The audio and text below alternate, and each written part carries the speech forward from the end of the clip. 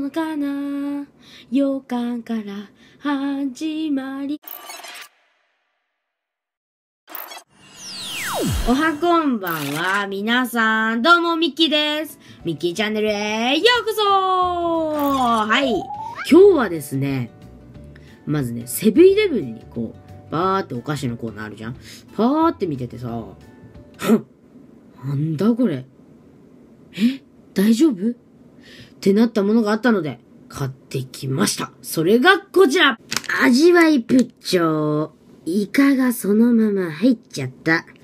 イカがそのまま入っちゃった。はい、ということで、なんとね、プッチョが、プッチョの中に入っちゃった商品がありました。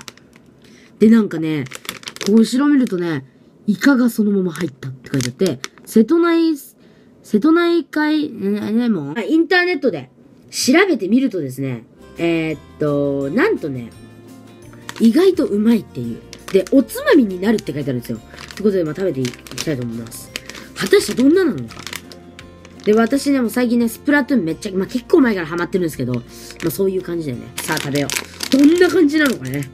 やばくない？でもなんかね、パッケージがなんかすごいよ。プッチョよ。おおすげえこんな感じで入ってる。こんなです。やばくない？本格的では、いただきます。うわ、うわ、うわ、うわ、あ、もうなんか、うわ、すげえ。あー、なんだこれ。なんかすごいね。入ってるね。やばくね？では、いただきます。匂い。うわ、あーうわ、イカ、イカ、イカ。いきます。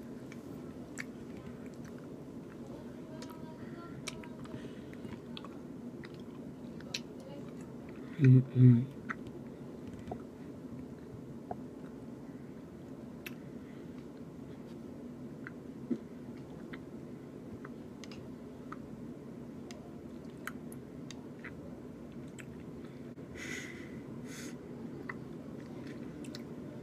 ンの味しかしない。でもちょっとほのかに、イカっぽい。なんかスルメっぽい。なんかね、レモンの、ブッチョを、と、スルメを一緒に食べちゃって、やっちゃったって感じ。ベロで感じる味は、もう、レモンです。でも、香りがちょっと、イカというかなんかもうスルメとかそっち系かなって感じ。でもね、普通にいけますね、これ。てかめっちゃうまいんだけど。ということで、これですね。あ、やば。発売日は1月の、えー、8日。もう結構前に出てた。はい。で、他になんか、えー、っと、そう、梅昆布、梅し、梅塩昆布っていうのもああります。ということで今日はですね、こちらの、えー、プッチョのイカ天味を紹介しました。まあ、感想は、レモンのハイチュウみたいな。だけど香りはイカみたいな。すごい美味しいし、合う。意外と。